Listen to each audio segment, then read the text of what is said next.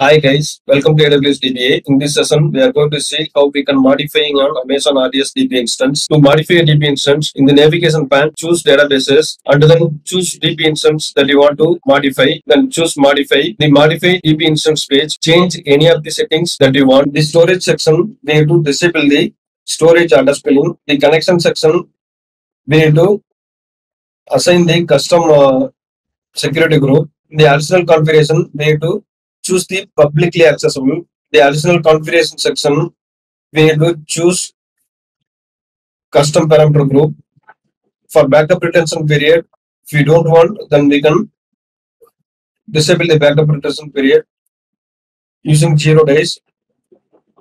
For monitoring, we can disable the enhanced monitoring. If you want, you can enable the performance insight.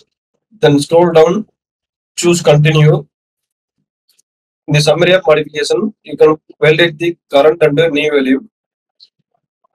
Scheduling of modification section, choose apply immediately. Then choose modify DB instance.